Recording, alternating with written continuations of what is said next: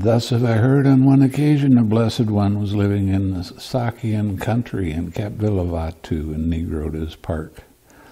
Kapilavatthu is where the Bodhisattva grew up. And it was pretty fancy. Then, when it was morning, the Blessed One, dressed, taking his bowl and outer robe, went into Kapilavatthu for alms. When he'd wandered for alms in Kapilavatthu and had returned from his alms round, after his meal he went to the great wood for the day's abiding. Entering the great wood, he sat down at the root of a beluva sapling for the day's abiding. Dandapani, he was one of the minor kings of the area that supported the Brahmins. He didn't like what the Buddha was teaching at all.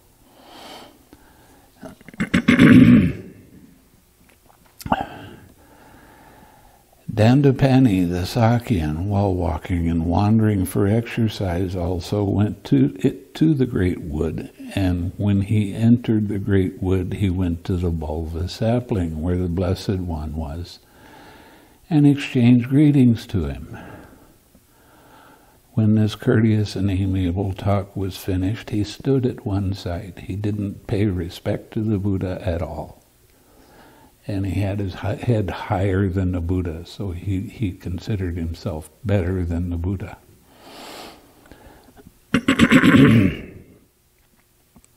then he stood at one side, leaning on his stick, and asked the Blessed One, what does the recluse assert? What does he proclaim?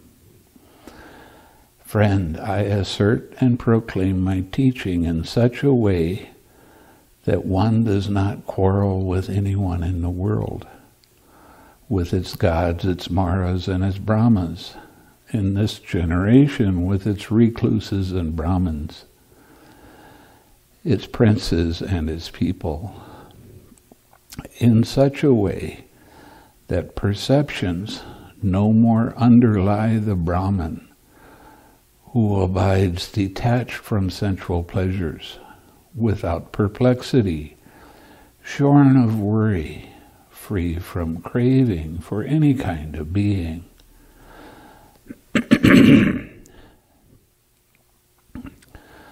when this was said, Dandapani the Sakyan shook his head wagged his tongue, and raised his eyebrows until his forehead was puckered with three lines. Then he departed, leaning on his stick.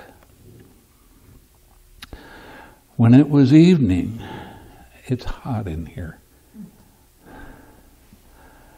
When it was evening, the Blessed One rose from meditation and went to Nigrodha's park where he sat down on a seat made ready for him and told the monks what had taken place. Then a certain monk asked the Blessed One, But, Venerable Sir, how does the Blessed One assert and proclaim his teaching in such a way that he does not quarrel with anyone in the world, with its gods, its maras, and its brahmas? In this generation with its recluses and Brahmins, its princes and its people. now, the Buddha already said this. This happened to me. I don't know why, but a teacher would ask me the question and give me the answer. And all I did was repeat exactly what he said, and oh, everybody liked that. They'd say, "Oh, right, that's good." It didn't make sense to me. I, it was more like a game. But what can I do? And Venerable Sir, how is it that perceptions no more underlie the Blessed One, that Brahman?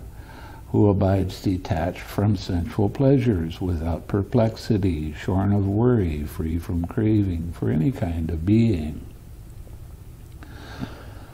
Monk, as to the source through which perceptions and notions born of mental proliferation What is mental proliferation? Thinking about, analyzing,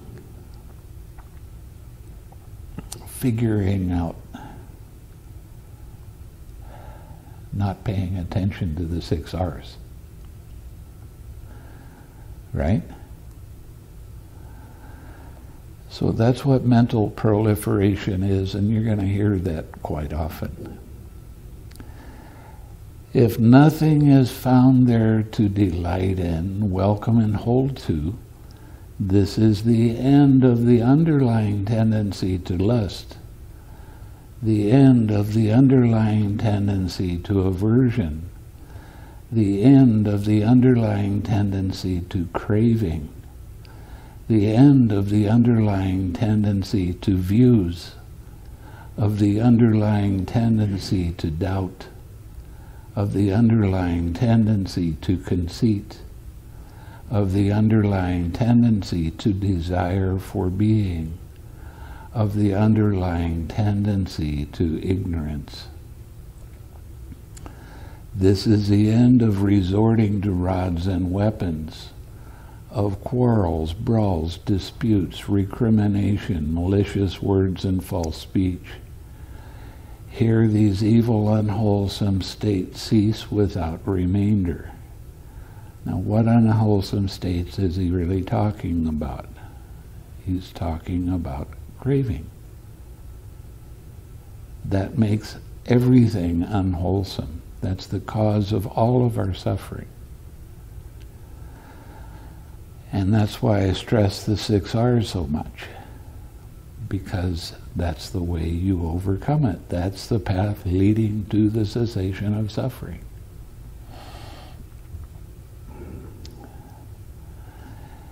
And not making a big deal out of stuff when it comes up. Oh, I had this wonderful feeling. So? That'll last for a little while, disappear. Then you're going to get a painful feeling. And then you go, oh, I hate that. I don't want that one around. Does that sound familiar?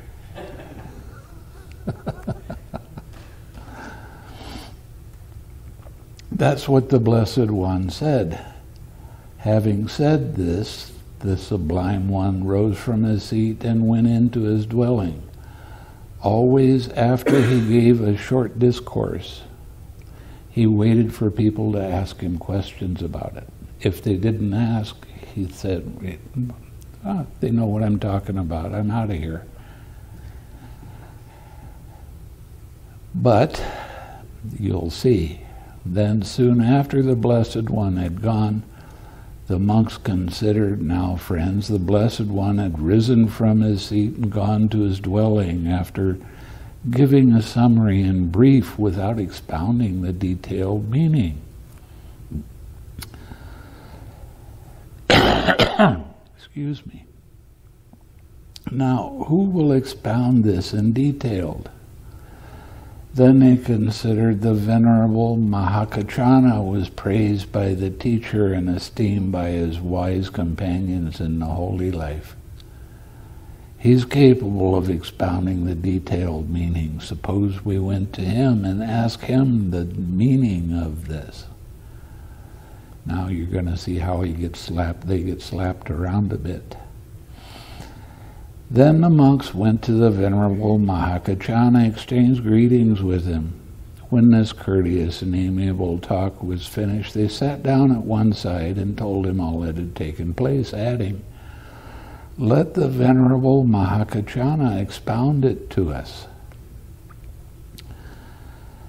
The venerable Mahakaccana replied, Friends, it is though a man seeking heartwood needing heartwood, wandering in search of heartwood, thought that heartwood should be sought for among the branches and leaves of a great tree standing possessed of heartwood. After he passed over the root and the trunk. So it is with you, venerable sirs, that you think I should be asked about the meaning of this after you pass the Blessed One by. when you were face to face with the teacher, knowing this, the Blessed One knows. Seeing, he sees. He is vision, he is knowledge, he is a Dhamma. He is the Holy One, he is the sayer, the proclaimer, the elucidator of meaning, the giver of the deathless, the Lord of the Dhamma, the Tathagata. That was the time when you should have asked the Blessed One the meaning. So anytime I ask if you have any questions, guess what? You're going to wind up stupid. As I told you, so you should have, as, as he told you, so you should have remembered it. Surely, friend Kaccana, knowing the Blessed One knows, seeing he sees, he is vision, he is knowledge, he is the Dhamma. He is the Holy One, the sayer, the proclaimer, the elucidator of meaning, the giver of the deathless, the Lord of the Dhamma, the Tathagata. That was the time that we should have asked the Blessed One the meaning. As he told us, we should have remembered it. Yet the Venerable Mahakaccana is praised by the teacher and esteemed by his wise companions in the holy life anytime you hear wise or wisdom, it's talking about the understanding of dependent origination. The Venerable Mahakaccana is capable of expounding the detailed meaning of this summary given in brief by the Blessed One without expounding the de- uh, without expounding the detailed meaning. Let the Venerable Mahakaccana expound it without finding it troublesome. Then listen, friends, and attend closely to what I shall say. Yes, friend, the monks replied. The Venerable Mahakaccana said this. Friends, when the Blessed One rose from his seat and went into his dwelling after giving a summary and brief without expounding the detailed meaning, that is, monks as to the source through which perceptions and notions born of mental proliferation beset a man. If nothing is found there to delight in, welcome, and hold to, this is the end of the underlying tendency to lust. The end of the underlying tendency to aversion. The end of the underlying tendency to craving. The end of the underlying tendency to views. That's opinions and ideas too, which is basically philosophy. And what is philosophy? It's a whole lot of words stuck together without any action behind it. So that's not what I'm teaching you. I'm not teaching you a philosophy at all. I'm teaching you how to teach yourself. So, the end of the underlying tendency to doubt of the underlying tendency to conceit, of the underlying tendency to desire for being, of the underlying tendency to ignorance. This is the end of resorting to rods and weapons, of quarrels, brawls, disputes, recrimination, malicious words, and false speech. Here these evil, unwholesome states cease without remainder.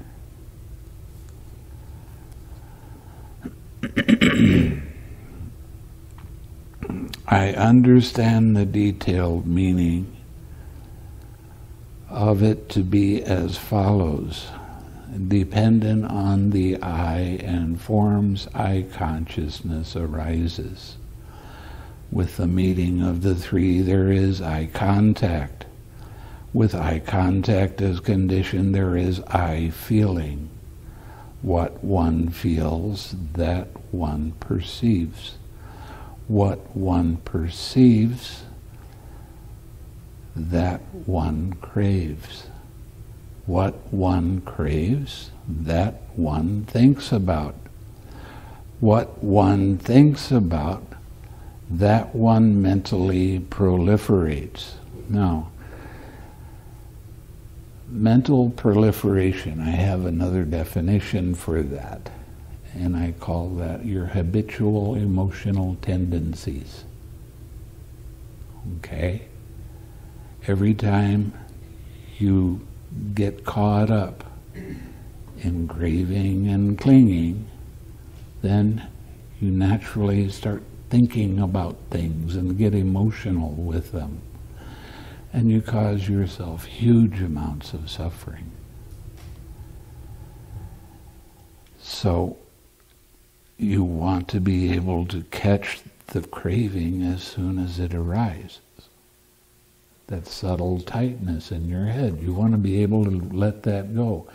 If craving, you let go of it, then there's no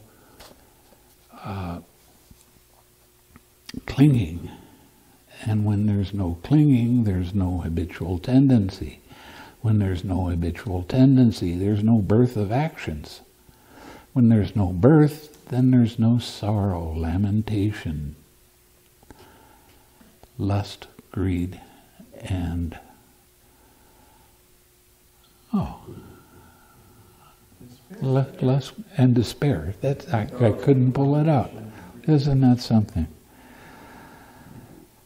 With what has one has mentally proliferated as the source, perceptions and notions born of mental proliferation beset a person with respect to the past, future, and present forms cognizable through the eye.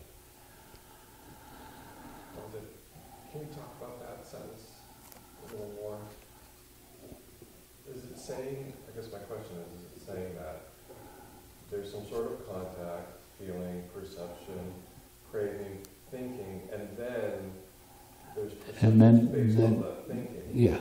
And then, so you're, you're that much more removed from that original point of contact. Right. And you cause yourself that much more sorrow, lamentation, pain, grief, and despair. Yeah, yeah. Over the thinking of the thing. yeah, it's your opinions, your ideas okay. that you hold dearly. You think this is the way it's got to be because that's what I figured out. And that's not right. We're so confused, and because of the craving and taking that personal belief that I am these thoughts, I am these opinions and ideas, that you're willing to fight anybody for it. And can yourself, yeah. So, yeah. Just to follow up on that, so I think the last thing you read was proliferation to the past, present, and future. So anytime we're thinking about the past or the future, that would be proliferation? Of course. What else would it be? And a lot of what you think about in the present because you're going from your past experience. But when you let go of the craving, that doesn't happen. That's why I say your mind is pure when you let go of the craving. There can still be thoughts without craving. No. no. It won't even come up. So, without so there's a little bit of thinking, there's a little bit of craving. Well, yeah. But there are times, especially when you get into the quiet mind, that you can have an observation thought that doesn't have any craving in it. It's just an observation. My mind is really quiet right now. Very peaceful, very calm. And then you continue on. Sometimes you need a little bit of verbalization just to have it set in your mind. But not very often. Okay.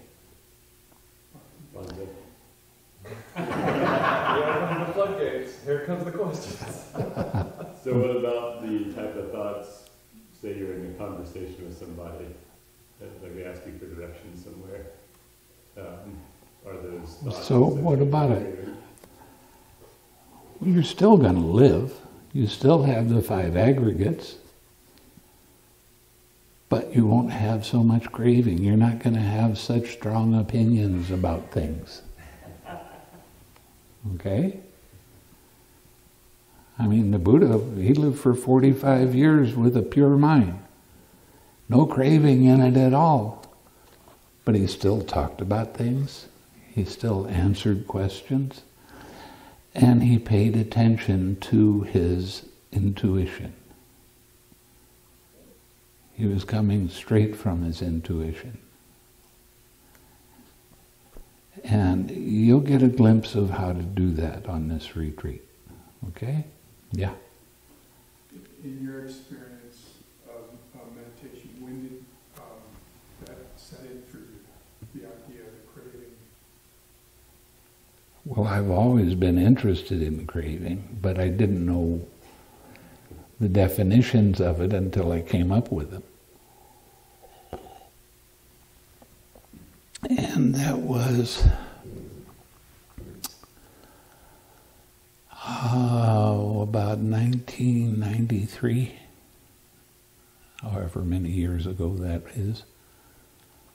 That's when I, I first started recognizing for myself, and that's when I went back out to the forest to confirm.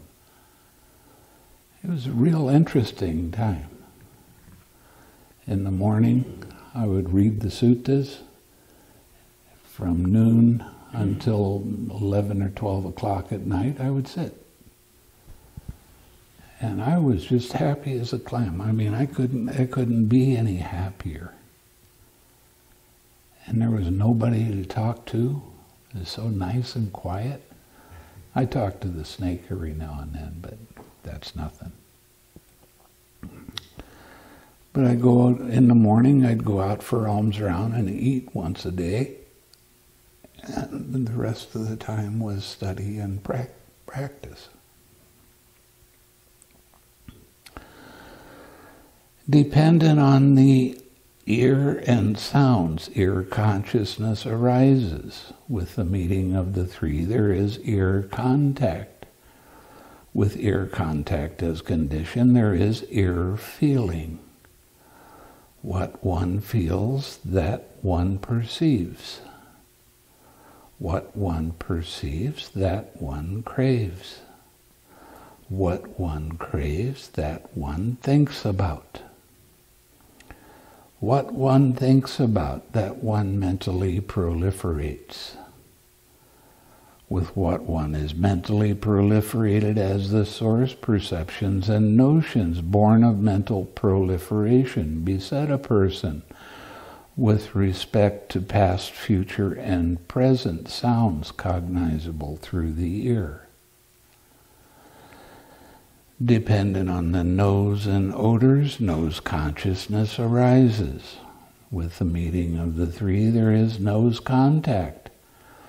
With nose contact as condition, there is nose feeling. What one feels, that one perceives. What one perceives, that one craves. What one craves, that one thinks about. What one thinks about, that one mentally proliferates. Now, you hear me say a lot of time that your thinking mind is nonsense. And I literally mean that to be two words nonsense.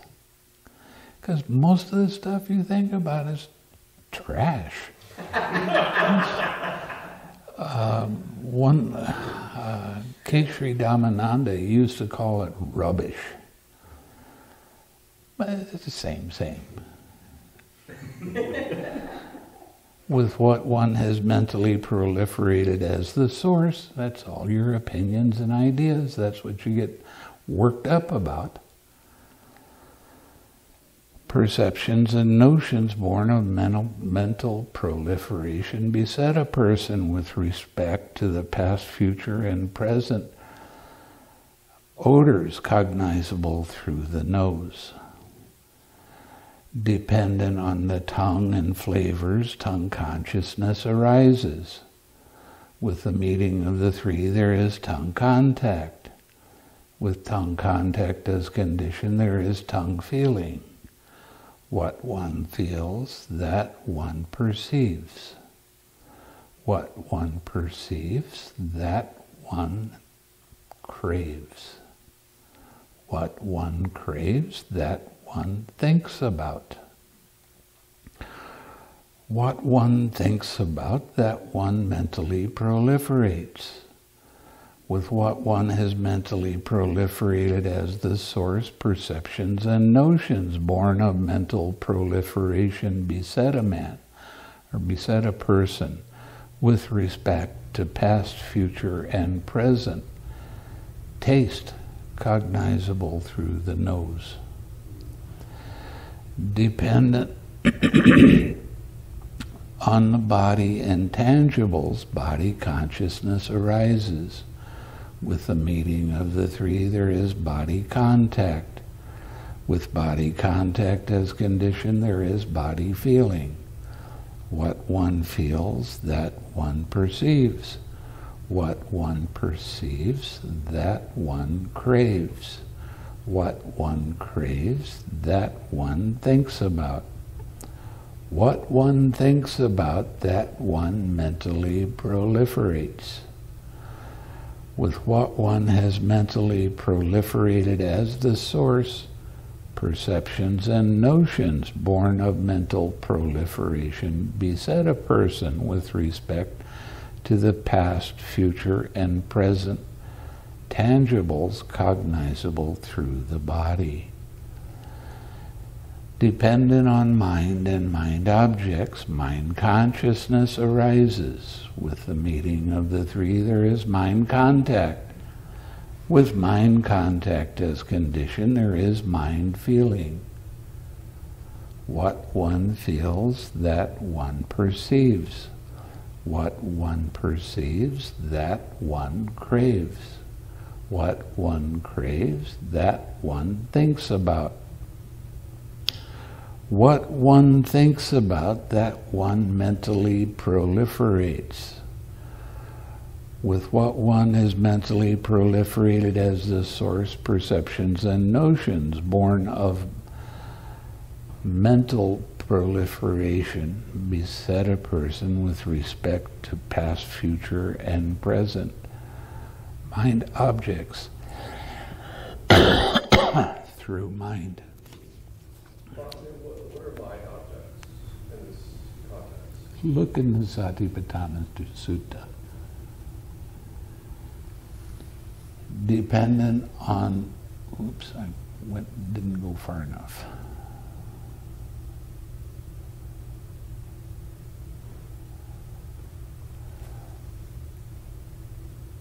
There it is.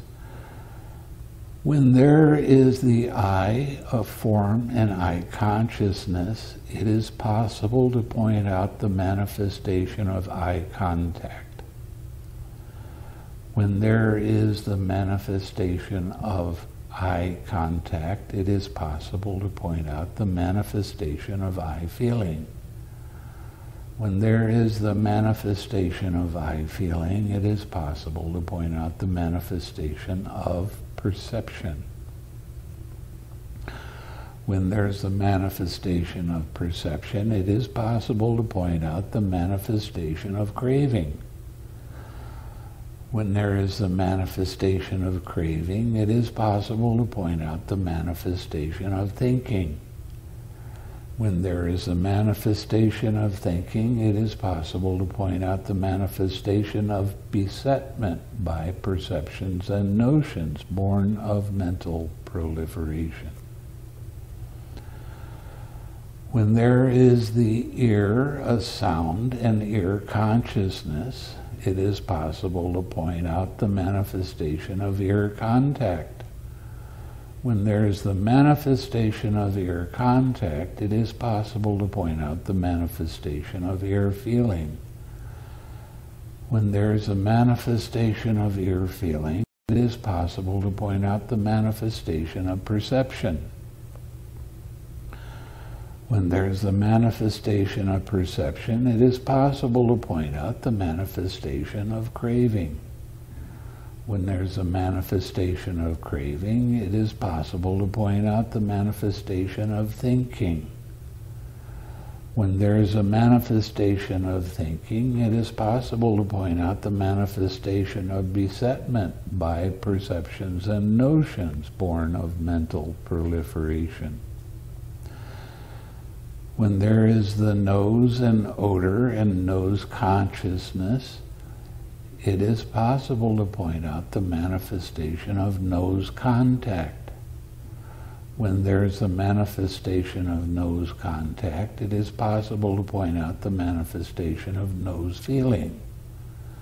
When there is a manifestation of nose feeling, it is possible to point out the manifestation of perception. When there's a manifestation of perception, it is possible to point out the manifestation of craving. when there's a manifestation of craving, it is possible to point out the manifestation of thinking. When there's a manifestation of thinking, it is possible to point out the manifestation of besetment by perceptions and notions born of mental proliferation when there is the tongue of flavor and tongue consciousness, it is possible to point out the manifestation of tongue contact. When there is a manifestation of tongue contact, it is possible to point out the manifestation of tongue feeling. When there is the manifestation of tongue feeling, it is possible to point out the manifestation of perception. When there's a manifestation of perception, it is possible to point out the manifestation of craving. When there's a manifestation of craving, it is possible to point out the manifestation of thinking. When there's a manifestation of thinking, it is possible to point out the manifestation of besetment by perceptions and notions born of mental proliferation. When there is the body, a tangible and body consciousness, it is possible to point out the manifestation of body contact.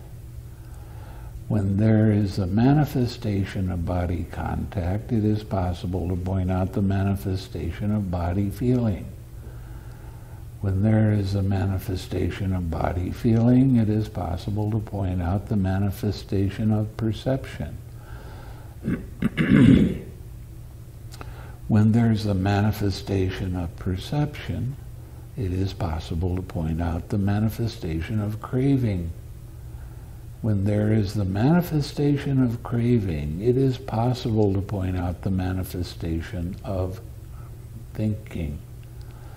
When it is when there is a manifestation of thinking, it is possible to point out the manifestation of besetment by perceptions and notions born of mental proliferation.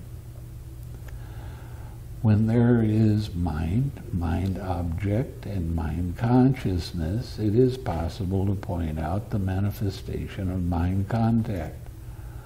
When there's a manifestation of mind contact, it is possible to point out the manifestation of mind feeling.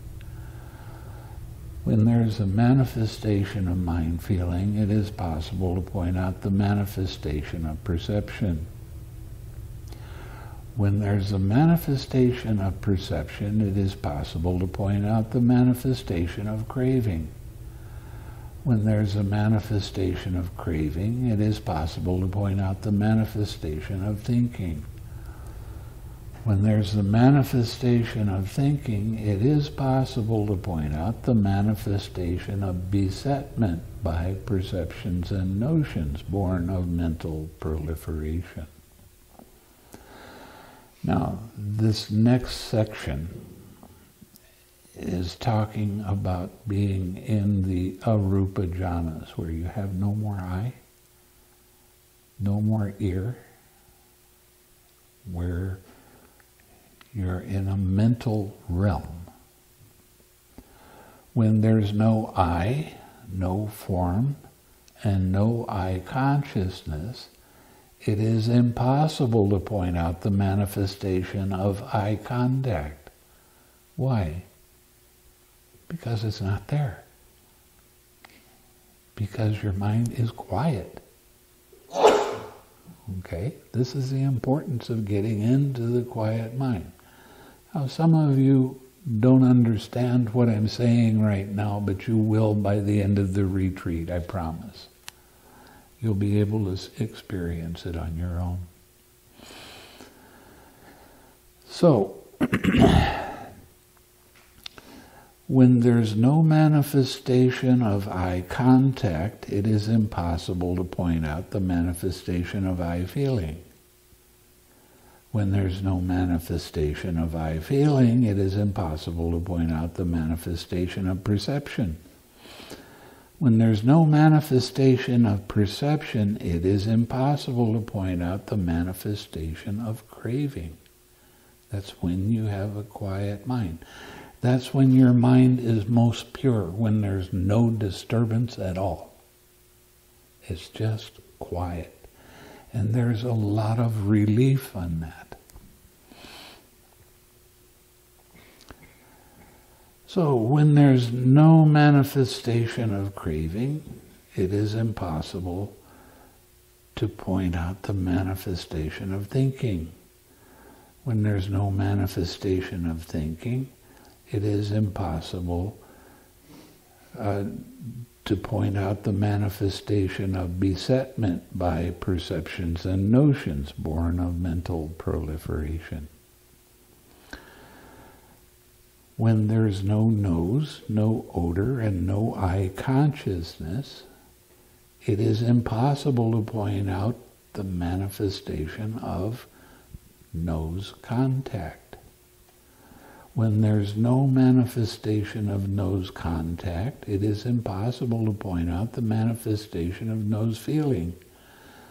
When there's no manifestation of nose feeling, it is impossible to point out the manifestation of nose craving. When there's no manifestation of nose craving, it is impossible to point out the manifestation of think, uh, no, or just thinking. When there's no manifestation of thinking, it's impossible to point out the manifestation of besetment by perceptions and notions born of mental proliferation. Now, the reason that I'm teaching you this way is because this stuff is real. But don't believe me, please. See for yourself. And you'll see that there's personality development when you, when you practice this. And you'll be more happy all the time. You'll be more content and having more and more balance in your mind. And you're going to start getting into the finest degree of equanimity. That's disenchantment. In Asia, food is really, really important. I mean, you talk about certain foods that people like and they start drooling a little bit. But when you get to disenchantment, you'll see that favorite food, you know it was your favorite food, and you'll eat it, but you don't get into the craving and, and the uh, over attachments to the food. You recognize that this is food, I need to eat food to continue on And yeah, and it tastes good. That's okay. But so what? Uh, This is just to keep give energy to my body, so I will continue.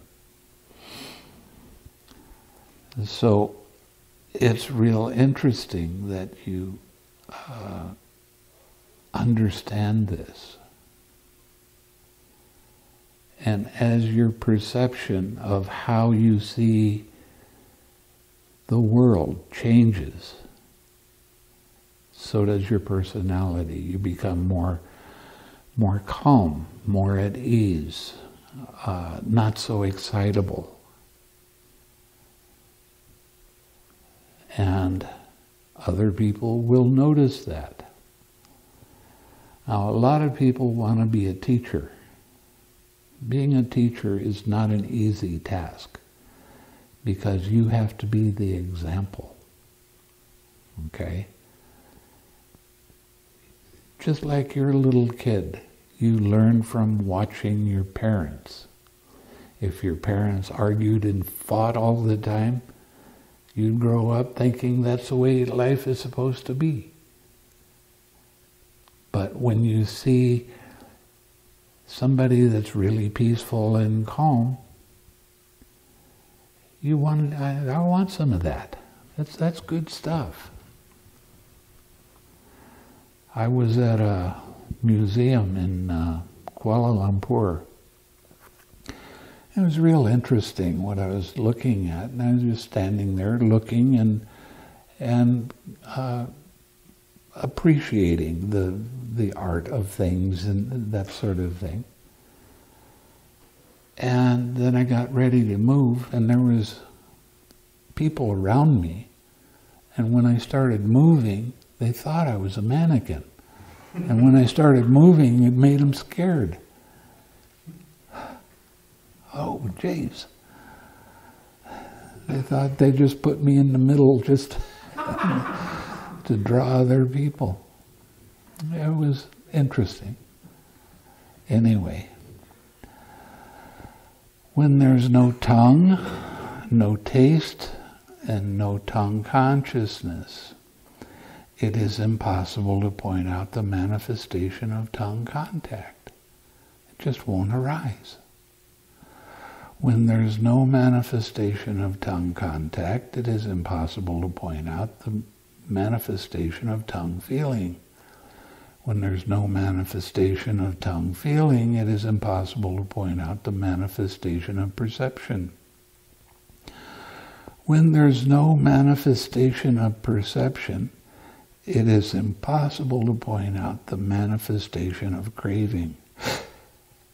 When there's no manifestation of craving, it is impossible to point out the manifestation of thinking. If there's no manifestation of thinking, it is impossible to point out the manifestation of besetment by perceptions and notions born of mental proliferation. Friends, when the Buddha rose from his seat and went into his dwelling after giving a summary and brief without expounding the detailed meaning, that is, monks, as to the source through which perceptions and notions born of mental proliferation beset a man, if nothing is found there to delight in, welcome and hold to, or push away. I want to put that in. Because a lot of times they talk about craving only as greedy mind, but it's also aversion mind. And that's why I say that's what craving is. It's the I like it, I don't like it. It's the greedy mind and it's the aversion mind. But it's the same thing, just different sides. So you have to treat them both in the same way. Especially when you start having some pains come up in your body. It's okay for those pains to be there. Has to be okay. You don't need to fight with the truth. If you do, you can look forward to that pain coming back and getting bigger. It's up to you. You are your own teacher.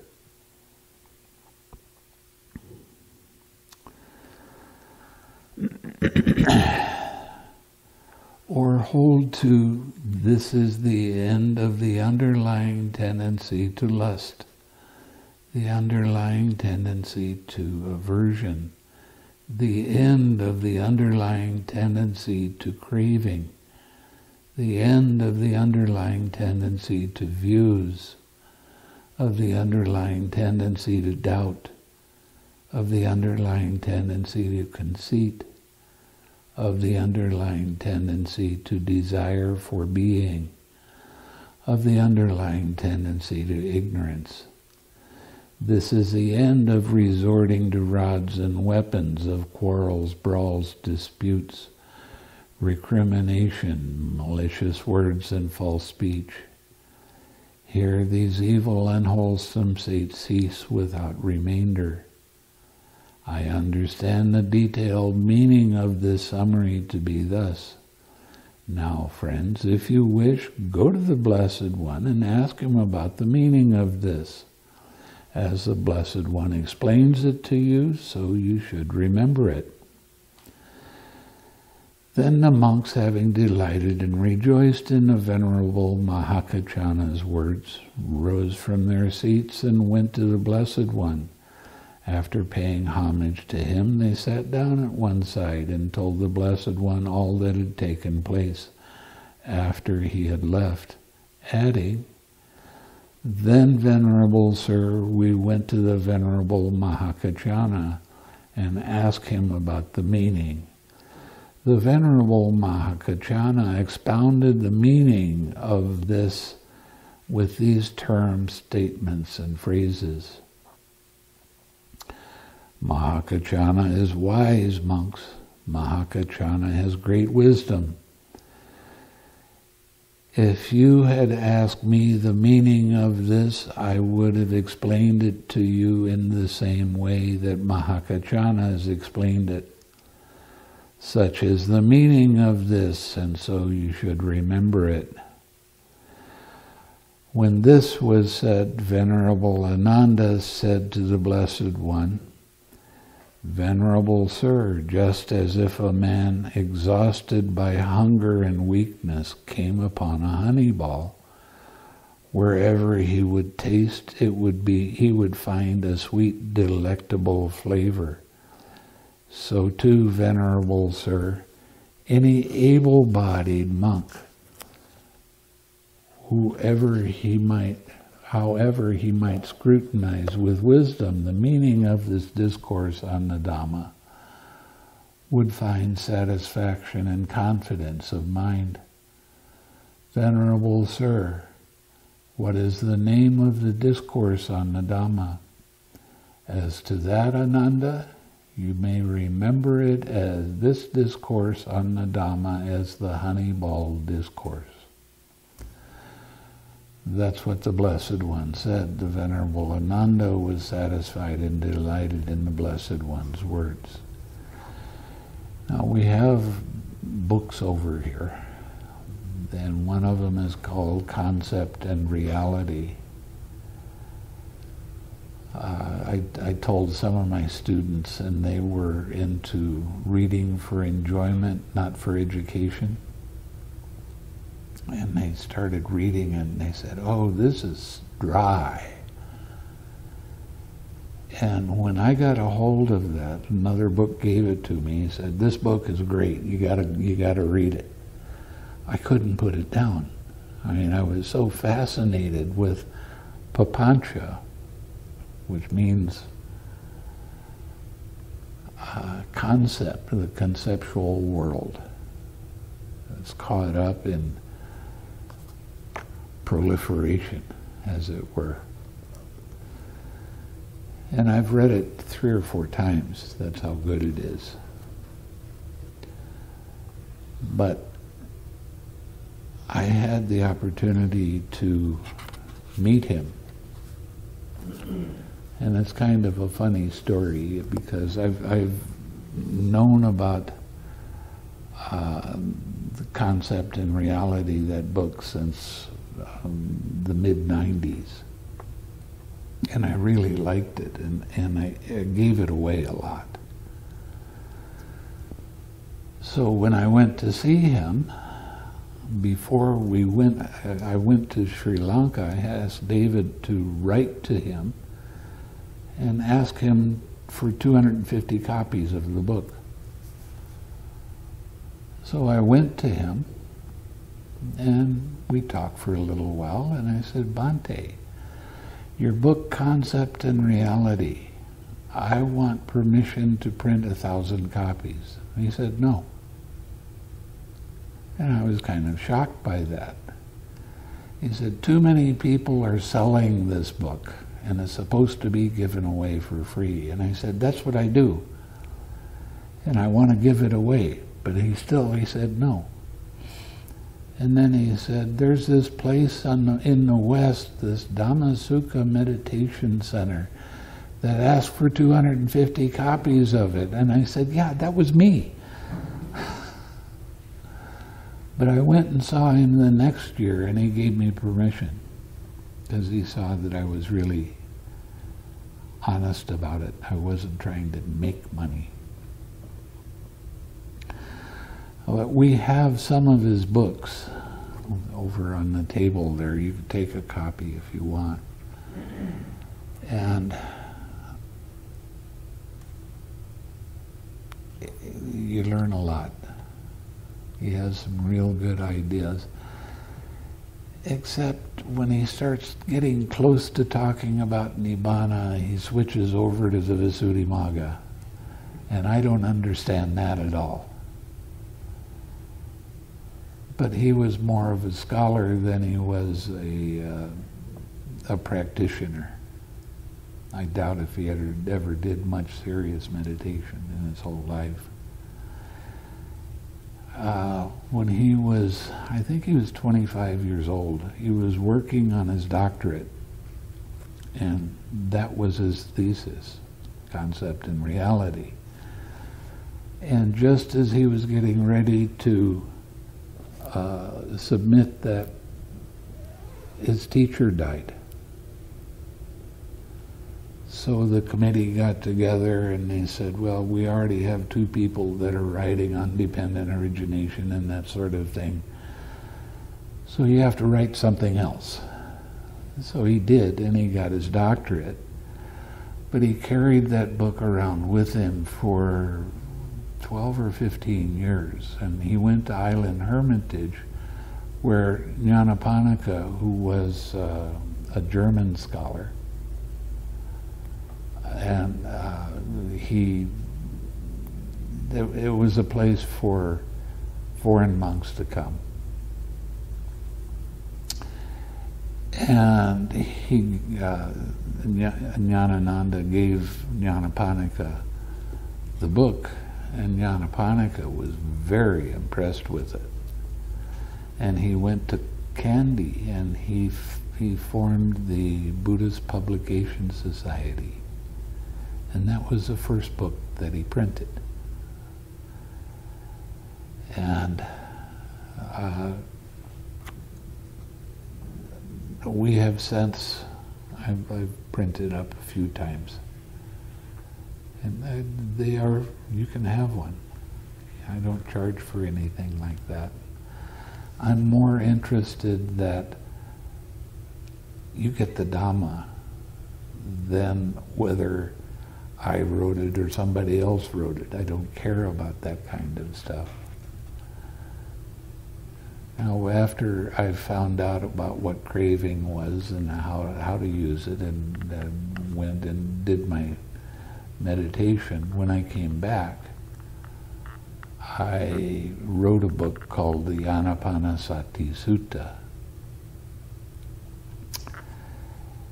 And somebody printed up a 3,000 copies for me, so I was giving it out. And uh, K. Sri Dhammananda, he said, why don't you send that book to uh, Taiwan? There's a society there that likes to print up Dhamma books and send them all over the world. So I did. I sent them two copies, and they wrote back and said, "Well, we just printed up forty thousand copies of your book because we really like it." And uh, they sent them all over the world.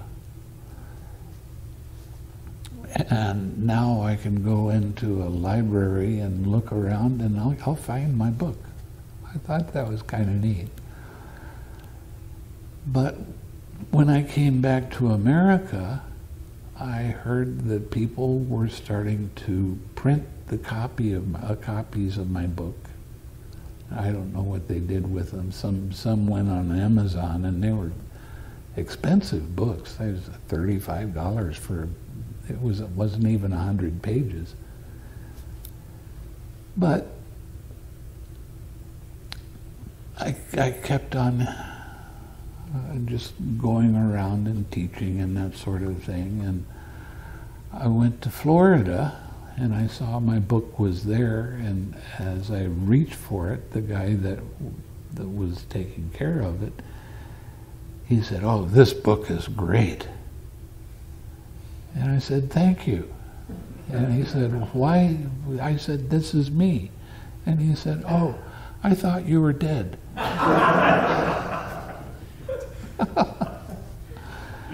But there's been a lot of copies that have been reprinted worldwide. They use it in universities for uh, religious studies. And now I've heard, I don't know how accurate any of this is, because I just go by what somebody else said, but there's about 750,000 copies that are worldwide. And I had some friends that were in India at a one monk monastery that had my book in the in the uh, their library. And that's the first time they'd ever run across an American author that wrote reasonably legibly how to do the meditation. And since then, they have become very staunch followers of uh, the TWIM method. And the husband wrote a, his PhD thesis on this practice and the six R's. And you can have a copy of that somewhere. I, I don't know how many we have, but anyway, I wanted to read some more of the suttas to you. This sutta is called the Anathan Pendika Ovada Sutta, advice to Anathapindika. Anathan Pendika was the Buddha's major donor. He, he bought the piece of land at Savatthi and he was a rich, uh, rich guy, basically. And he he fed monks and he made sure that there was doctors that were coming and taking care of monks that were sick and and they had enough robes and all all of this kind of stuff. Anyway, of suttas? 143. Thus have I heard on one occasion the Blessed One was living at Savatthi in Jeta's Grove, Anathapindika's park. This is called Anathapindika's park. And the forest around is Jeta's Grove. Now, on that occasion, the householder Anathapindika was afflicted, suffering, and gravely ill.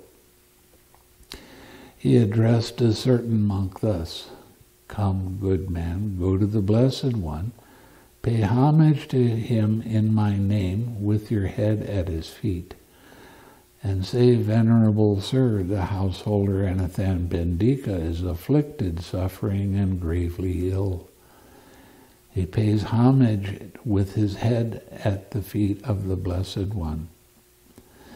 Then go to Sariputta, pay homage to him in my name, with your head at his feet, and say, Venerable Sir, the householder Anathapindika is afflicted, suffering, and gravely ill. He pays homage with his head at the feet of Venerable Sariputta. Then say, It would be good, Venerable Sir, if the Venerable Sariputta would come to the residence of the householder Anathapindika out of compassion. Yes, sir, the man replied. He went to the Blessed One after paying homage to him, sat down at one side, and delivered his message. Then he went to the Venerable Sariputta after paying homage to him, sat, sat down, and delivered his message, saying, It would be good, Venerable Sir, if Venerable Sariputta would come to the residence of the householder Anathapindika out of compassion. The Venerable Sariputta cons- uh, consented in silence. Then the Venerable Sariputta dressed and taking his bowl and outer robe, went to the residence of the householder Anathapindika. Now an interesting thing, the monks always went out with their, their robes and their bowl, because if they would have left that in their room, somebody would have stole it. That's really true. They didn't have locks like we have now. With the, the uh, Sariputta dressed, taking his bowl and outer robe, went to the residence of the householder Anathapindika with Ananda as his attendant. Having gone there, he sat down on a seat made ready and said to the householder Ananda, or Anathapindika, excuse me, I hope you are getting well, householder. I hope you are comfortable. I hope your painful feelings are subsiding, not increasing, and that your, their subsiding, not their increase, is apparent. Polite thing to say, somebody's sick. Venerable Sir, I'm not getting well. I'm not comfortable. My painful feelings are increasing, not subsiding. Their increase and not their subsiding is apparent. Just as if a strong man were splitting my head open with a sharp saw, a sharp sword so too violent winds cut through my head. I'm not getting better.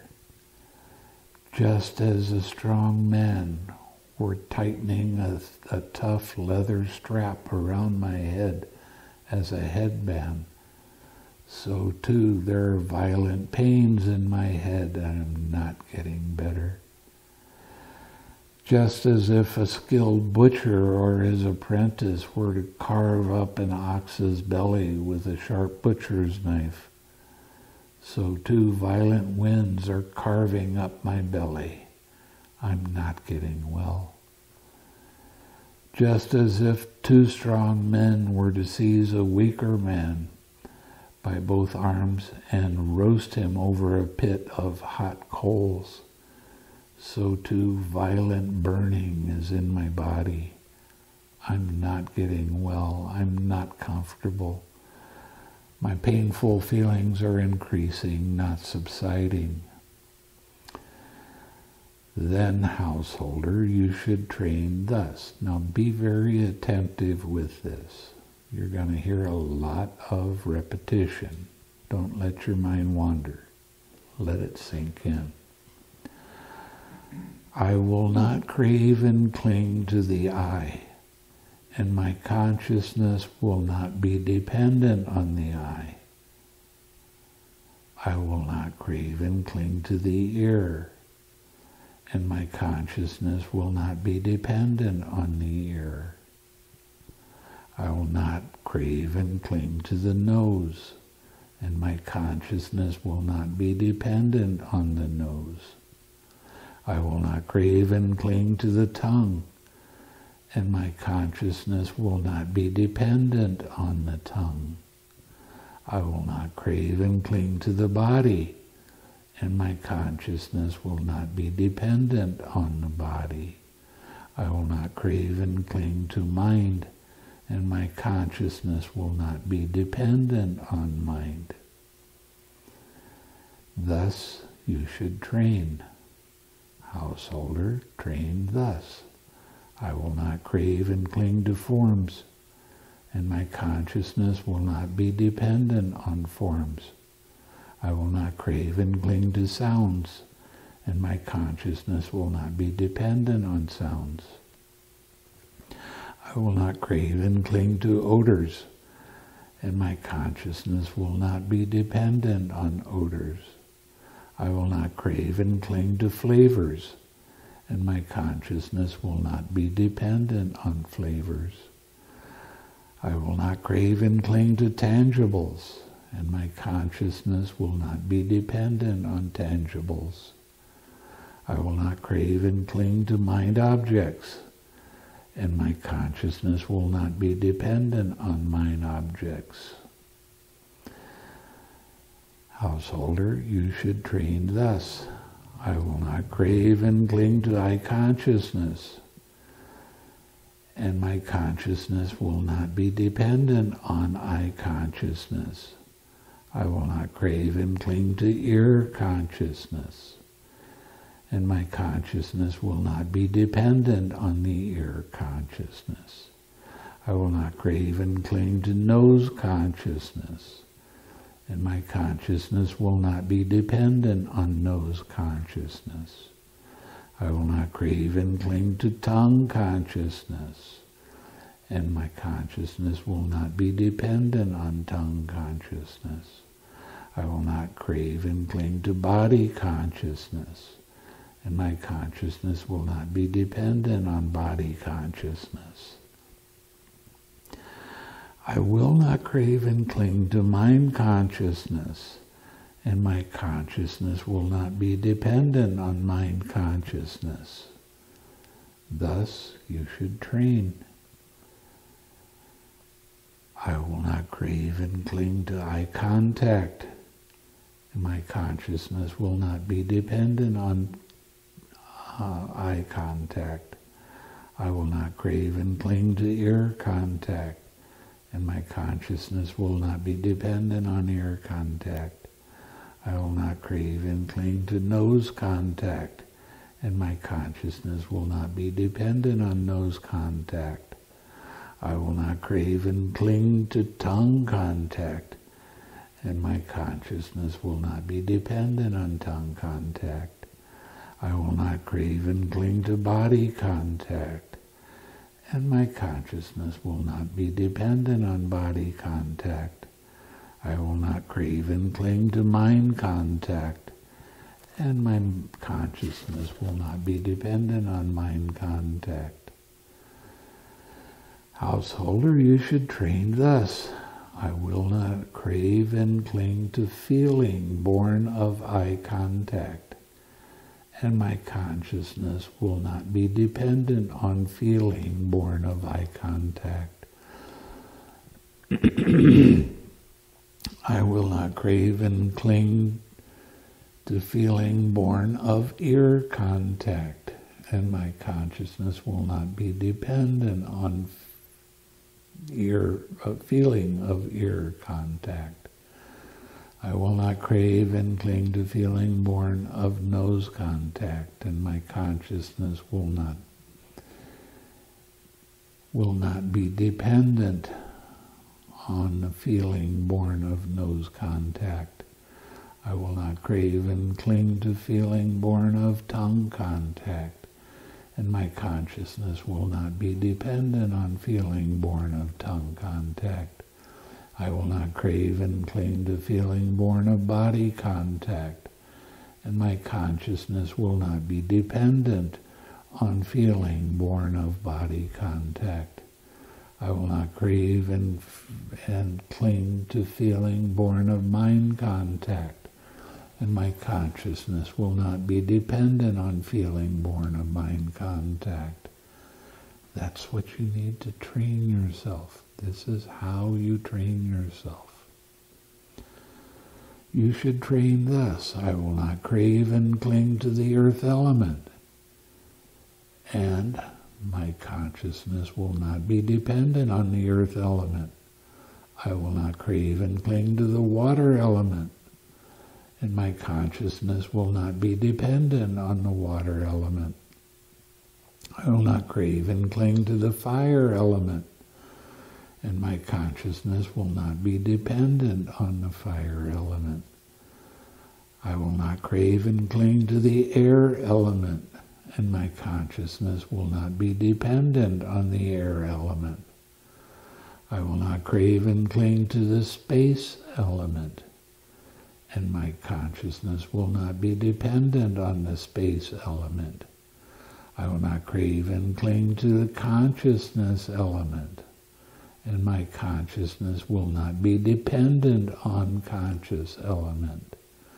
Thus you should train. I will not crave and cling to material form, and my consciousness will not be dependent on material form. I will not crave and cling to feeling, and my consciousness will not be dependent on feeling. I will not crave and cling to perception, and my consciousness will not be dependent on perception. I will not crave and cling to formations, and my consciousness will not be dependent on formations. I will not crave and cling to consciousness, and my consciousness will not be dependent on consciousness. Thus you should train. Householder, you should train thus. I will not crave and cling to the base of infinite space, and my consciousness will not be dependent on the base of infinite space. I will not crave and cling to the base of infinite consciousness, and my consciousness will not be dependent on the base of infinite consciousness. I will not crave and cling to the base of nothingness, and my consciousness will not be dependent on the base of nothingness. I will not crave and cling to the base of neither perception nor non-perception, and my consciousness will not be dependent on the base of neither perception nor non-perception. Thus you should train. Now, neither perception nor non-perception if you've taken a bodhisattva vow, that's as far as you go. You don't get to attain nibbana. Bodhisattva means future Buddha. And an awful lot of people, since they've come up with this concept of bodhisattva,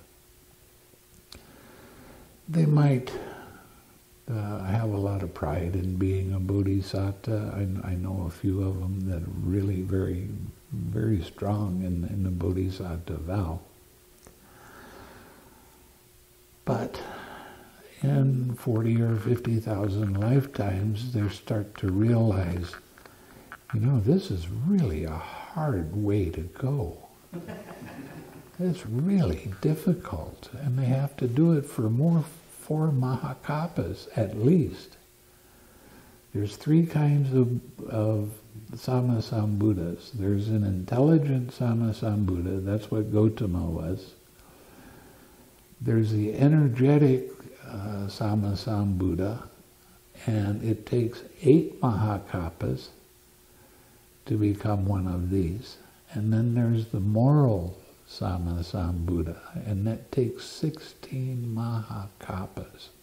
That means universe uh, expansion and contraction. And that's, that's really a long, long, long time. So people that take the Bodhisattva now, they, they have this idea, it's, it's kind of Vajrayana uh, Tibetan, well, I'm going to stay and not become of and not get off the wheel until all beings will get off the wheel. The Buddha couldn't do it. If he could, we wouldn't be here, right? He couldn't do it. So why do these people have this idea, I'm going to stay around until all beings are enlightened? No, it's just not practical.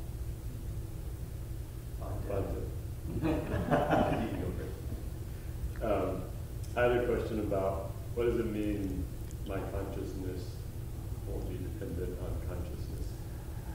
When you get to the quiet mind, you'll get able to be able to see that. All of this stuff you'll be able to see. Patience. Keep progressing the way you have been, and you'll you'll see it before long. I have a lot of confidence in all of you.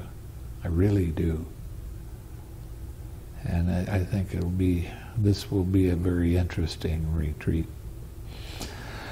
Okay, let's get back to the householder. You should train thus. I will not crave and cling to this world, and my consciousness will not be dependent on this world. I will not crave and cling to the world beyond, and my consciousness will not crave and cling on and be dependent on the world beyond. Householder, you should train thus. I will not crave and cling to what is seen, and my consciousness will not be dependent on what is seen. I will not crave and cling to what is heard, and my consciousness will not be dependent on what is heard. I will not crave and cling to what is sensed, and my consciousness will not be dependent on what is sensed. I will not crave and cling to what is cognized, and my consciousness will not be dependent on what is cognized.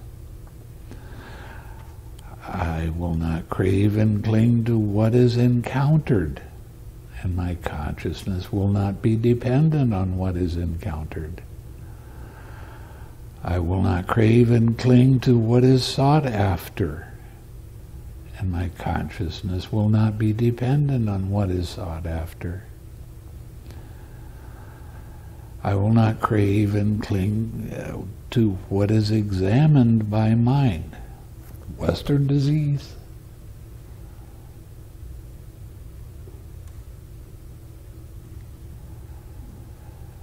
Okay and my consciousness will not be dependent on what is examined by mind.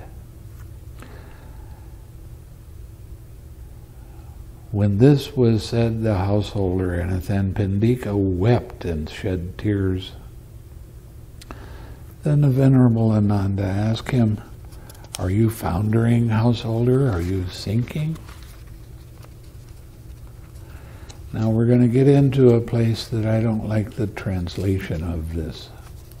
You'll get to hear it in just a minute. I'm not foundering Venerable Ananda, I'm not sinking. But although I've long waited upon the teacher and the monks, worthy of esteem, never before have I heard such a talk on the Dhamma. Now, Sariputta's answer to this, this is the one that I don't really get along with. Because the Buddha was an open-fisted, he didn't have any secrets. There's no secret teachings, right? But this implies that there was. Such talk on the Dhamma householder is not given to lay followers wearing white clothes. Such a talk on the Dhamma is given only to those who have gone forth, become monks. And I don't agree with that at all. Uh, I've, I've had some experiences where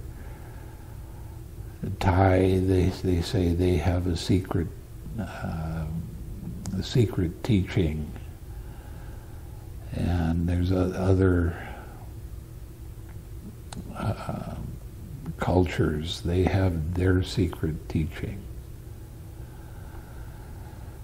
But I was at a conference, a Thai conference in uh, Florida, And I stood out like a. I, I was red haired at the time, so I really stood tall and red headed, and they're short and black headed. So uh, I was talking with some monks, and my attendant at the time was a woman, Khema, and she was really, really, really into dependent origination. She understood it really well. So I was talking, there was 150 or 200 monks around, so I was talking to different ones and seeing what they knew and what they didn't know. And I looked over and I saw one of the major teachers in Thailand Khema is talking to him. And I thought, oh man, this I gotta I gotta get over there to see what's happening. And as soon as I walked over, he put his back to Khema and he looked at me and he pointed at me like this. He said, Why are you teaching the hidden teachers, the teachings of the Buddha? I didn't know I was. Why are you teaching these higher higher aspects of, of the Dhamma? So I answered him. I said, because she can understand it. And he got mad and turned around and walked away. He didn't like that answer. There's some cultures in Asia that really push down women. And I have a tendency to teach them equally. I don't care. So I, I sometimes get in trouble with different cultures because I, I, when I went to Indonesia, I ordained women as samaneri. And that was, uh, I became public em- enemy number one with that, doing that. So, and every year afterwards, I was I was ordaining. They ordained for ten days. I didn't see any harm in doing that, but it helped them spiritually. It helped them progress. So it was a good thing. But I became um, an awful lot of monks were very unhappy with me because I did that. But the thing is, I traveled all over the country for a couple of years after I, I, got back from Asia because I wanted to find out what this country was. I had no idea. I was 12 years in another cultures. So when I came back, I, I, I wanted to really know what was happening. And I started noticing when I was going to different monasteries that I was traveling with Sister Khema and she would sit off to the side and all these women came and talked to her about the Dhamma. But they wouldn't come to the monks. So I started thinking, well, we cut out half, half the population if we don't have some uh, bhikkhunis. So I've been a big advocate of that for a long time now. So uh, I teach the way the Buddha taught, open-handed, no secret teachings. So you're getting straight from what the Buddha is talking about right here. And it's not my teaching. I don't have anything to do with it. I'm just reading you what the Buddha said. So, well then, Venerable Sariputta, let such a talk on the Dhamma be given to lay people in white clothes. There are clansmen with little dust in their eyes who are wasting away through not hearing such a talk on the Dhamma. that will be for those who will understand that Dhamma. Then, after giving a householder and uh, giving the householder Anathapindika this advice, Venerable Sariputta and Venerable Ananda rose from their seats and departed. Soon after they had left, the Venerable Anathapindika died, and he reappeared in the Tusita heaven. That's the heavenly realm where the next Buddha is going to be. Maitreya. It's gonna, it'll happen, he'll come, but it's gonna be a long time before that, that occurs. A lot of changes have to happen. Then, when it was night, a well uh, was well advanced, Anathapindika, now a young god of beautiful appearance, went to the Blessed One, illumining the whole of Jeta's grove. After paying homage to the Blessed One, he stood at one side and addressed the Blessed One in stanza. Oh, blessed is this Jeta's grove, dwelt in by sagely Sangha, wherein resides the King of Dhamma, the fount of all my happiness by action, knowledge, and Dhamma, by virtue and noble way of life. By these are morals purified, not by lineage or wealth. Therefore, a wise person who sees what truly leads to his own good should investigate the Dhamma and purify himself with it. Sariputta has reached the peak in virtue, peace, and wisdom's ways. Any monk who has gone has gone beyond at least can only equal him.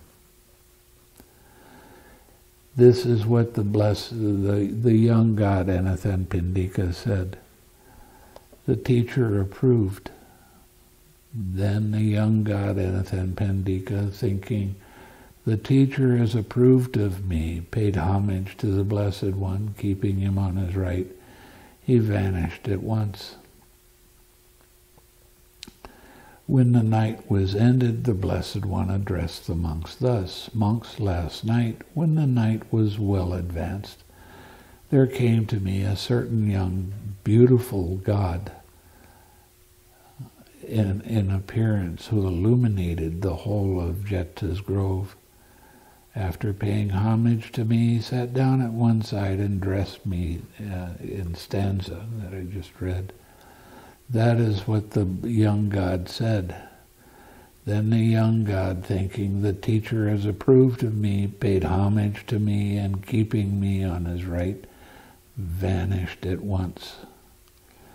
When this was said, the Venerable Ananda said to the Blessed One, Surely, Venerable Sir, that young God must have been Anathapindika, for the householder Anathapindika had perfect confidence in the Venerable Sariputta. Good, good Ananda, as far as reasoning goes, you have drawn the right conclusion. That young God was Anathapindika, no one else. That's what the Blessed One said. The Venerable Ananda was satisfied and delighted in the Blessed One's words. Now, this particular sutta is something that I read to people if they're on their deathbed. And it helps them to let go of things and keeps their mind attentive. Even if they are in a coma, they still hear it. They just haven't got enough energy to interact. And that's why I've told some doctors that they go into the, somebody that has a coma and they start talking about how bad they're doing and all this stuff, I tell them they have to leave. Go away. These people can hear what you're saying, and it, it takes hope away from them. So I have, uh, over the years, I've practiced uh, going to hospitals often and being with them as they die, mostly because I wanted to be around people as they were dying to see if people had the, the visions that the Buddha said that you have before you die, or you can have before you die. Uh, if you haven't led a reasonably good life, you can have visions of hell realms and really nasty different things. If you were not all evil, somebody like Hitler, then uh, you can be reborn as an asura. And asuras are mainly black kind of ghosts. I don't know if you saw the movie, uh, oh, what was it? Oh, I can't think of it. Where this guy died. He was an evil guy and he had black ghost comes up and pulls him away and takes him to one of the hell realms.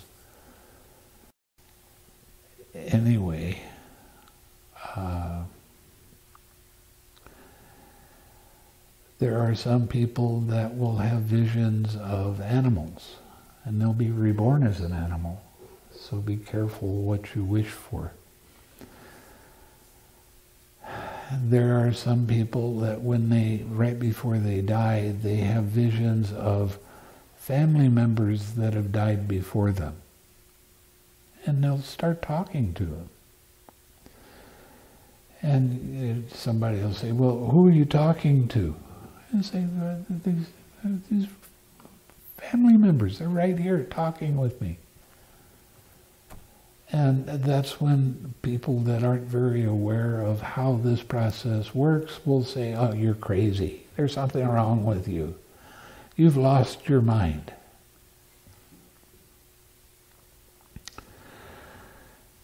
But when I was with people, I, I, spent about a year at a nursing home where there was somebody that died about once a week. So I got a chance to be with them. My mother ran the nursing home, so I pretty much did what I want. And when they were getting close to death, then I would spend all, all my time with them. And I was, I was reading uh, the Bible and things like that to them, where I found out something very interesting. The precepts are in the Bible. Not advertised very well, but they're in the Bible. So what I did was I would read that to them and tell them this is part of Matthew, and I gave them the numbers and all of that. And they would listen to that, and their mind would be uplifted. Their mind would be pure. So there's different kinds of mental states that people can go through right before they die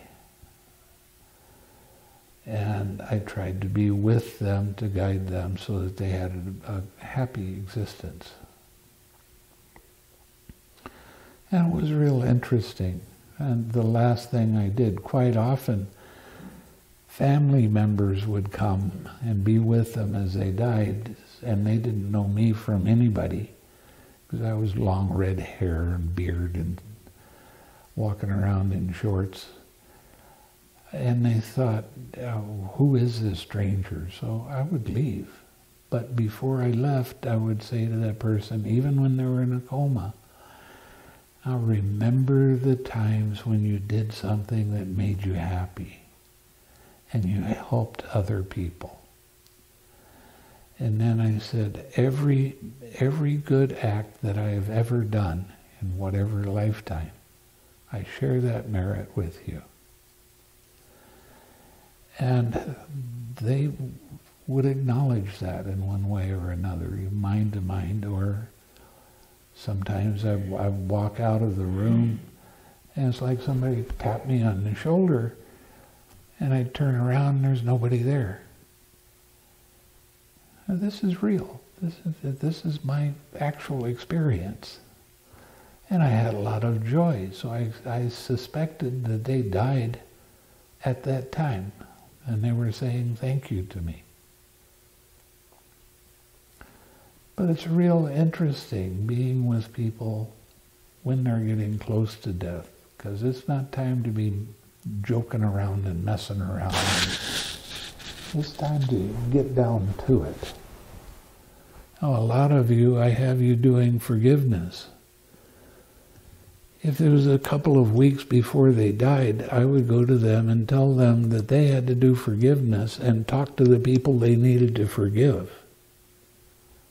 Uh, family members that had wronged them in one way or another, or uh, caused them some kind of suffering.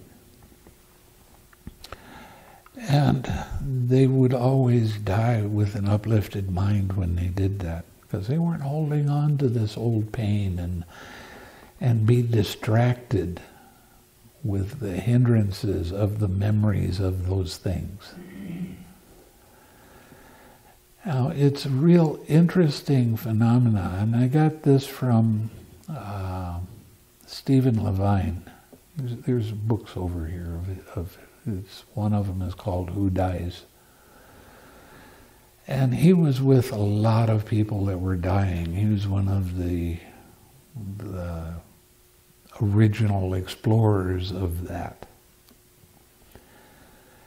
And one of the things that he wrote about was when somebody's in a coma, if you want to communicate with them, you put your hand on their uh, their forehead or on their heart, and you start synchronizing your breathing with them. When they breathe in, you breathe in. When they breathe out, you breathe out. After a couple of minutes of doing that, then you mentally ask them, is there anything I can do for you? Well, sometimes they want to see a relative or something. Okay, then go find the relative and bring them. Sometimes it's just as simple as I, I need some water. It can be any any kind of thing. But there is mind-to-mind communication that way. And there's always a lot of relief because they're they don't feel like they're alone. Now they feel much more at ease. And I would spend time with the families if they were there and teach them how to do loving kindness. Because every everybody feels helpless if somebody dies. Somebody's close to you. Oh, I feel so bad. I don't know what to do. And you get real sad. Well, you don't have to be helpless. You can radiate loving kindness to that person. And radiate loving kindness to the family members. Because they're all suffering and radiate loving kindness to the doctors. Because most doctors are very much afraid of death. And radiate loving kindness to the nurses and the janitors and everybody that has any, anything. And you keep your mind focused on that. You don't have time to be sad. Right? You radiate that loving kindness as much as you possibly can.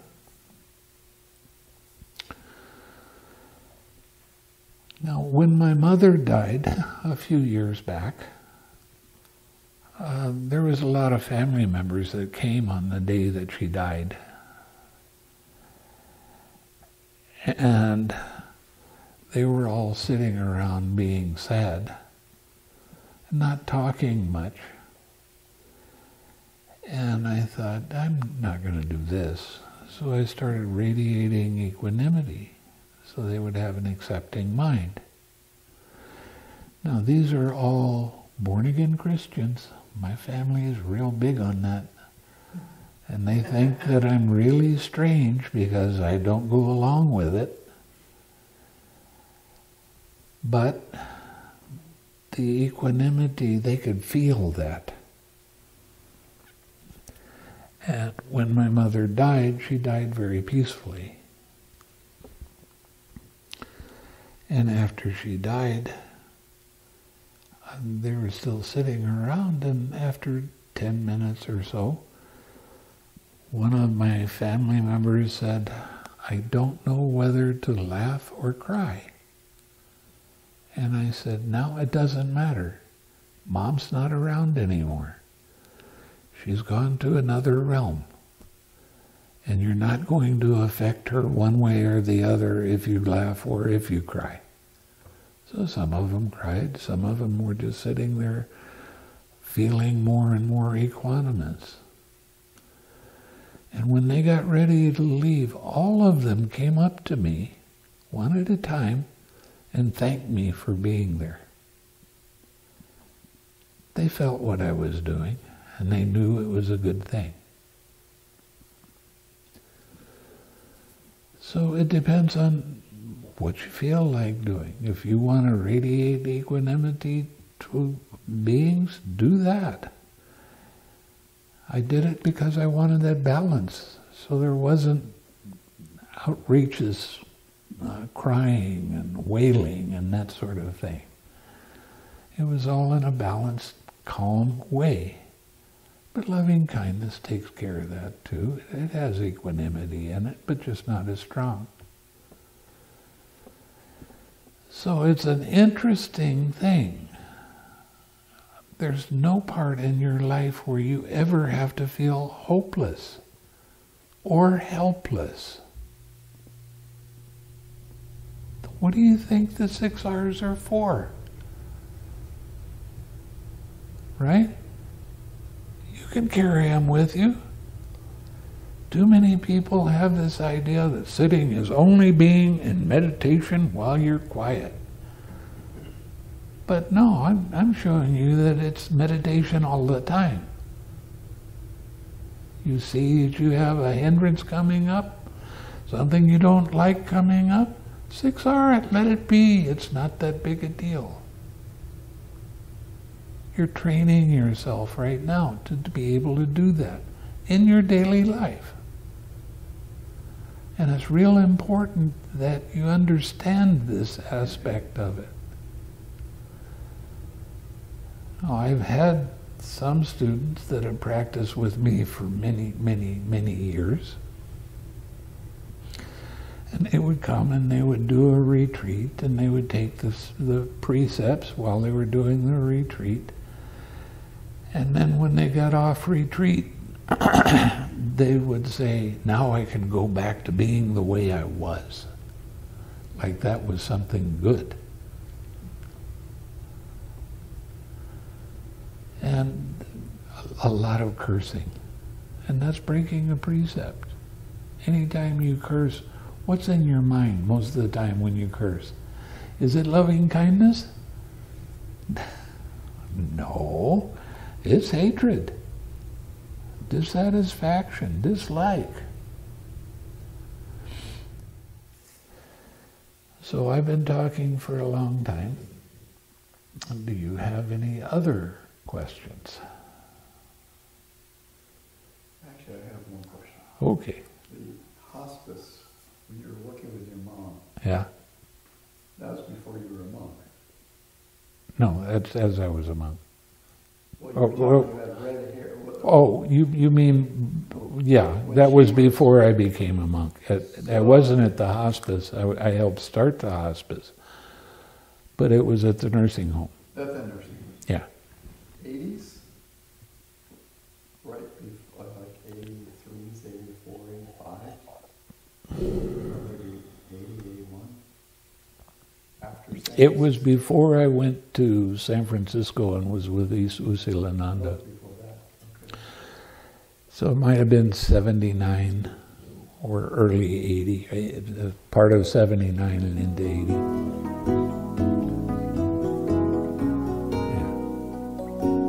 Yeah. I've been stuff